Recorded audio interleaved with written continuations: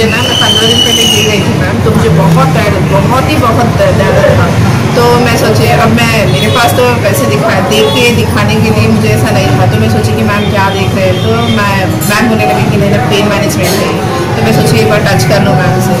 तो फिर मैं टच कर ली तो एक बार मैं आपके पास आके बैठी, जब मुझे, जब मैं करवा रही थी, तभी मुझे फ़र्क लगा।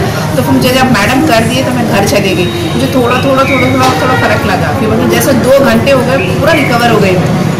तो मुझे लगा कि ऐसा पैसा गई मैडम के पास रिकवर हो गया। अब मैं सोची कि अब मैडम के पास मैं कल जाऊँगी अगर मैं और दिखा लूँ तो मुझे और पूरा रिकवर हो जाएगा मुझे।